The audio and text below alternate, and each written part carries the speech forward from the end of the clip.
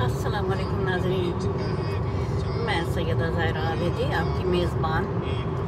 आज आपको अपनी कहानी सुनाती हूँ, कनाडा आने की। देखिए, कुरान पाक में हर चीज़ का सरीहन तस्करा है। इंसान के बस में है ही नहीं कि वो अपनी मर्ज़ी से एक सांस भी ले सके।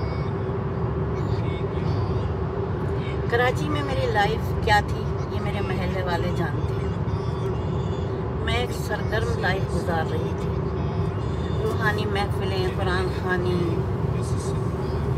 और दूसरा सब महफिल, मीलाद, मजालिस, के अचानक मेरी ज़िंदगी ने एक टर्न लिया सत्रह साल पहले, जनवरी की सोलह को।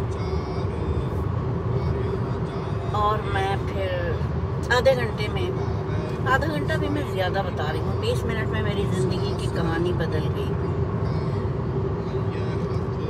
अब मैं तनहा थी वो खुदा के घर चले गए। अब मैं तनहा थी बच्चे परदेश में थे। बस एक बेटी मेरे पास थी, वो परदेशियों से ज़्यादा परदेसी थी, अपने जॉइंट फैमिली सिस्टम की वजह से। लेकिन मैं घबराई नहीं। मैंने हिम्मत की और जब बच्चों ने कहा कि अब क्या इरादा है मैंने कहा, बेटा, मैं आराम से हूँ, मैंने यहाँ पे एक ख़ातून रख लिया, सकीना नामी, वो मेरे वो मेरा साथ देती हैं, मेरे साथ ही रहती हैं, वो मैं अकेली नहीं हूँ। और ये कि मेरे भाई हैं, माशाल्लाह बड़ा कुनबा था सबने मेरा ख्याल किया, अल्हम्दुलिल्लाह। लेकिन बच्चों ने कहा कि, आप कुछ भी कहिए आपके वहाँ अकेले होने से हम बेचैन हैं। अब छोटे साहबजादे ने मुझे बुलाने का किया। मैं डरी हुई थी। न जाने मैं सबसे पहली चीज़ तो ये कि मेरी सहेलियों ने कहा कि वीज़ा नहीं मिलेगा। अच्छा भाई, चलो वीज़ा मिल गया। किस्मत में था ना आना। तो मैंने कहा, चलो दो चार महीने रह के बच्चे मुतमिन हो जाएँ, फिर मैं वापस आ जाऊँगी।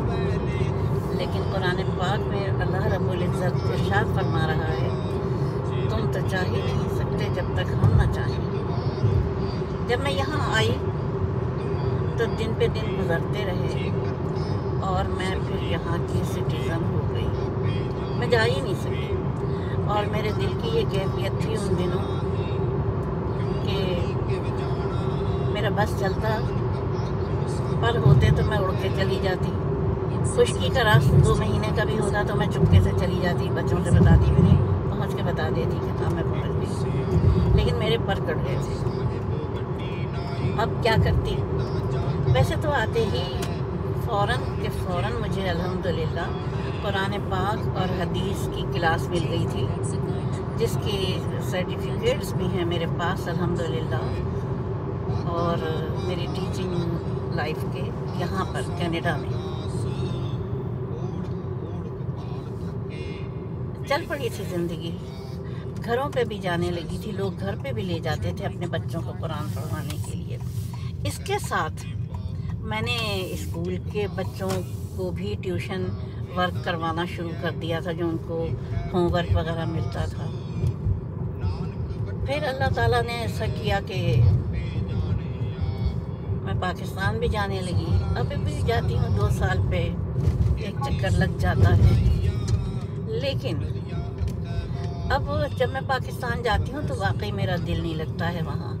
बस मिल मिला लेती हूँ, फिर मैं कहती हूँ, अब वापस जाऊँ। क्योंकि मेरा तमाम सेटअप यहीं का आदि हो गया।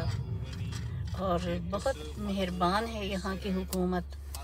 बुज़ुर्गों को घर में बैठे हुए मेरे अकाउंट में मेरी पेंशन आ जाती है। मुझे फ़ूड हैम पर आते हैं, मेरे दरवाज़े पे छोड़ जाते हैं। दरवाज़े पे छोड़ते हैं, दस्तक देते हैं और चले जाते हैं।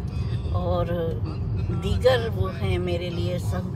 खाली मेरे लिए नहीं, और दीगर सीनियर्स के लिए। हर चीज़ की सहूलत है।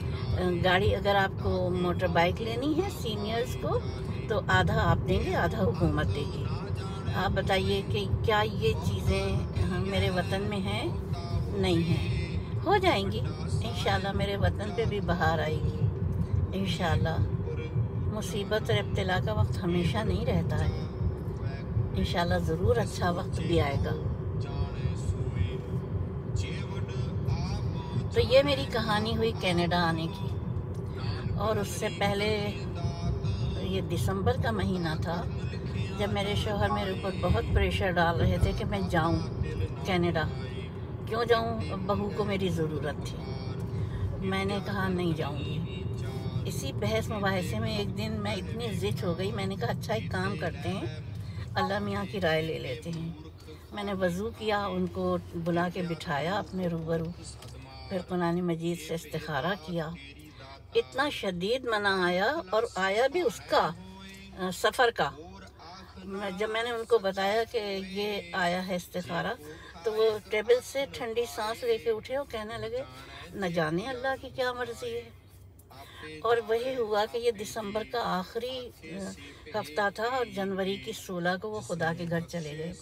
अब आप बताइए, अगर मैं यहाँ पे आ जाती, मैं आती तो बहू के काम से, लेकिन बताइए ज़माने वाले कहते कि बेगम साहिबा तो कनाडा के सैर सपाटे करने गई हुई थी, यहाँ मियाँ अकेला मर गया। तो खुदा न खास्ता, खुदा न खास्ता, ये कलंक का दाग मेरी बयालीस बरस की अजवाजी ज़िंदगी पर कलंक का दाग लग जाता, खुदा न करे। जिससे खुदा ने मुझे महफूज रखा, उसकी शान करीमी के सदक़े कि उसने अपनी मर्ज़ी दे दी कि मुझे नहीं जाना है। तो हर चीज़ में अल्लाह की मसलहत होती है और उनके इंतकाल के बाद फिर मैं आ गई। ज़ाहिर है तो ये है कि तुम तो चाह ही नहीं सकते जब तक हम न चाहें। अल्लाह ताला से दुआ है कि वो हम सबको अपनी अमान में रखे और हर लम्हे, हर आन हमें अपने जो उसने दस्तूर बना दिए हैं ज़िंदगानी के, खूबसूरत दस्तूर, उन पे चलने की तोफ़ी अता फरमाए।